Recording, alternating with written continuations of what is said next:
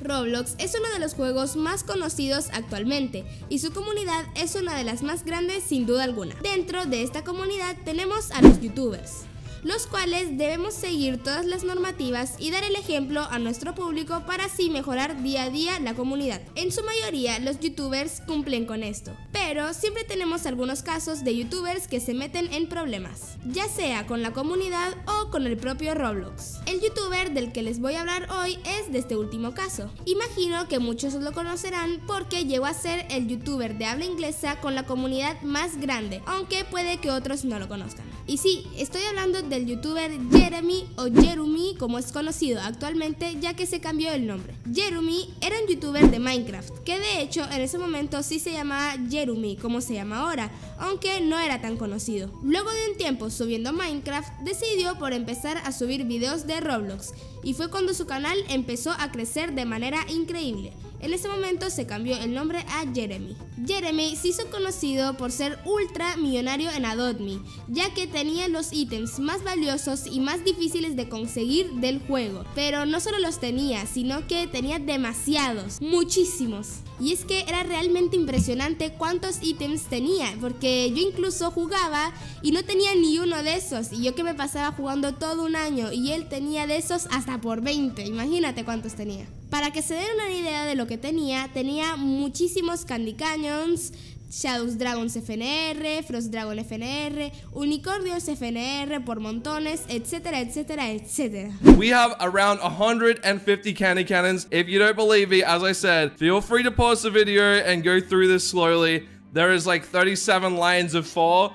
And we just gave out one. We gave out a bunch yesterday. Really lies is the candy cannons. Okay, tons of royal eggs and a bunch of neon shadow dragons. People say this is the rarest Prácticamente tenía todos los ítems del juego multiplicado por 20. La gente lo seguía porque era muy increíble cómo tenía tantas cosas valiosas en el juego. Era algo inexplicable, que ya van a entender cómo lo hacía. Jeremy, aparte, tenía merch dentro de Roblox y de Adopt Me. Y él, cuando veía a alguna persona en Roblox usando su merch, le regalaba unicornios FNR solo por usar su merch. Y yo doy fe de que su fandom era muy grande. En esos momentos yo jugaba muchísimo a Dotme en servidores ingleses y siempre me encontraba a gente usando su merch y fue gracias a esas personas que conocí a Jeremy. Por si alguien en este punto del video no sabe qué es Adopt Me, es un juego donde puedes conseguir mascotas, intercambiarlas con otras personas por mascotas mucho más buenas. Pasó así siendo un youtuber muy grande, bastante conocido, bastante querido por su fandom,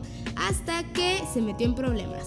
Jeremy fue baneado de Roblox. Jeremy al ver esto decidió subir un video diciendo de que lo habían baneado de Roblox. Roblox le quitó el ban ya que lo había baneado por actividad sospechosa en su cuenta e incluso le pidió perdón. Fue la primera vez que logró engañar a Roblox. Y esto pasó unas dos veces más, hasta que Adopt empezó a sospechar mucho de él y empezó a buscar pruebas de lo que lo acusaban, encontrando así que Jeremy compraba y vendía ítems del juego por dinero real. No Robux ni moneda del juego, no, dinero de verdad, o sea dólares. Y te preguntarás, ¿por qué esto es tan grave? Porque en los lineamientos de la comunidad está estrictamente prohibido vender ítems del juego por dinero real. Esta acción de hecho está penalizada con ban permanente en tu cuenta. Esto para Jeremy fue peor ya que él era un youtuber muy grande, con mucha comunidad, mucha influencia, entonces él no podía dar este ejemplo a su comunidad,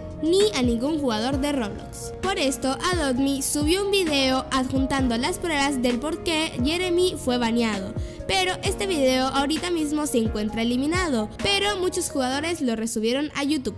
Jeremy, en vez de aceptar su error y pedir disculpas, que eso hubiera sido lo correcto, mandó a toda su comunidad a tirarle hate a los creadores de Adopt Y como ya les comenté, su comunidad era muy grande, así que eso fue lo que hicieron. Los de Adopt se enfurecieron bastante porque les llegó bastante hate, sobre todo Josh, que decidió bloquearlo de su cuenta de Twitter. Con esto, Jeremy se enfureció más e incluso muchos usuarios afirman de que Jeremy mandaba a niños pequeños a insultar a Josh, dándoles como recompensa unicornios FNR o ítems del juego muy valiosos. Todo esto es un resumen del comunicado que dio Josh en su cuenta oficial de Twitter. A esto, Roblox dijo de que todas las cuentas que se creara Jeremy serían baneadas permanentemente, dejándolo sin opción de subir videos a YouTube porque si no sería muy fácil saber si se creó una nueva cuenta. Jeremy incluso insultaba a otros youtubers de Roblox, incluso hay un video que él había subido donde sale media hora insultando a la youtuber Lea Ashe. Obviamente este video fue eliminado. Jeremy, al ser desmentido por tantas personas, empezó a bajar suscriptores de a montones. Incluso su fandom lo dejó de apoyar. De hecho, Jeremy pasó de tener 1.600.000 suscriptores a tener 1.400.000 en este momento que estamos grabando este video. Y cada mes, en vez de ganar suscriptores, pierde suscriptores alrededor de unos 10.000 o 20.000. De hecho, también sus visitas bajaron drásticamente ya que su fandom lo abandonó y su fandom veía Roblox, era de Roblox. También ha intentado subir otros juegos como GTA o Minecraft, pero no le está yendo igual de bien.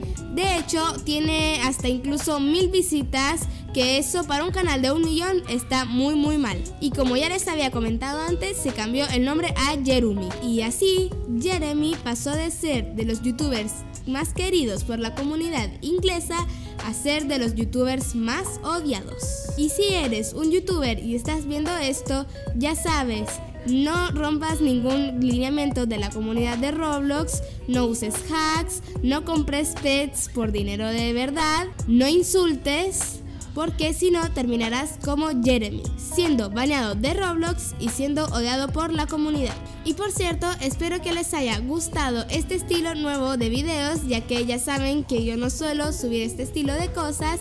Si es así, pueden decírmelo en los comentarios y regalarme un like y suscribirse para que yo siga subiendo este tipo de cosas. Y por cierto, si llegaste hasta esta parte del video, comenta la palabra secreta Flavio Baneado. También te recuerdo que puedes seguirme en mis redes sociales que las tienes abajo en la descripción. Sin más, yo soy Gaby Vlogs y nos vemos en un próximo video. ¡Adiós!